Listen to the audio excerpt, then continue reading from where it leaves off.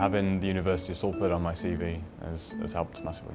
What inspired me to get into construction um, was I was always fascinated with making things as a, as a child, so uh, that's how I got into joinery. So I completed my apprenticeship and I was looking to sort of get onto a career more into a more management sort of position.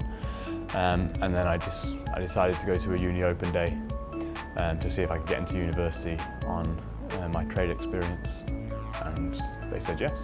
Everything that I made doing joinery always went into a building so this was just like a next level up. It's nice to be part of the bigger project um, and put my stamp on, stamp on the country I guess.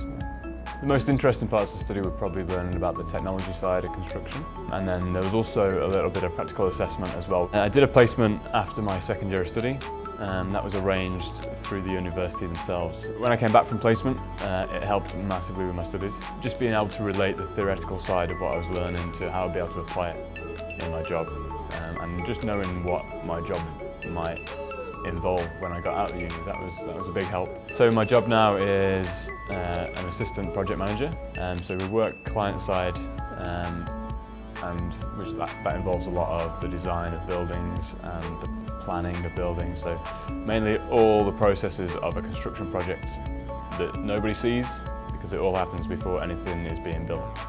If somebody was considering studying at Salford University, I'd tell them definitely to go for it. Um, the lecturers were all good fun, they're all very intelligent, they've all got a bit of a background in the industry. The university itself is very credible in terms of the construction courses and in terms of getting me employment afterwards has been a massive tick.